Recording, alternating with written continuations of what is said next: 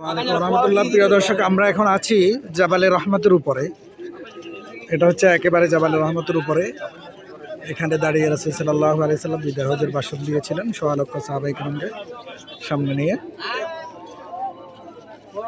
এই সাথেই হচ্ছে আরাফার ময়দান, বিশাল বিস্তৃত আরাফার ময়দান। এখানে হাজি সাহেবগণ অবস্থান করেন। এখানে হজের সময় তাঁবু থাকে, এখন তাঁবু নেই। আপনাদেরকে আমরা ভিউটা দেখাচ্ছি আরাফার ময়দানে। বিশাল বিস্তৃত ময়দান, পুরাটা আরাফার ময়দান। এটা হচ্ছে জাবালে রহমতের একদম উপরের থেকে। আঁকাবাতা পাহাড়ি পথ বেড়ে আমরা উপরে উঠেছি। অনেকে হয়তো চেষ্টা করে উঠতে পেরেছেন, অনেকে উঠতে পারছেন না, হাঁপিয়ে যাচ্ছেন। একই তো পাহাড়ের পথ আর হচ্ছে পাথরের পাহাড়। সব কিছু মিলিয়ে ওঠাটা অনেক বাস্তবে অনেকটা। পাশে হচ্ছে বিশাল পাহাড় এই পাহাড়ের অংশ, জাবালের রহমতের এই অংশ।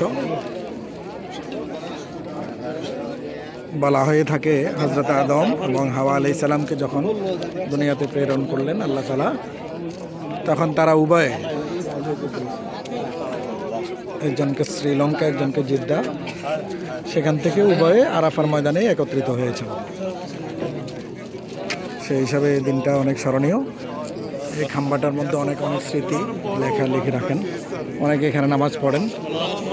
আসলে এখানে নামাজ পড়তে হবে, দোয়া করতে হবে, এমন কোনো হাদিস বাইরাসাল্লাম থেকে বর্ণিত না। মানুষ আবেগের কারণে নিজেরা অনেক কিছু করেন। এখানে প্রচুর মানুষের ভিড়।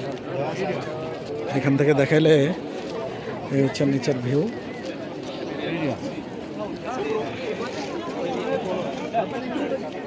Dile,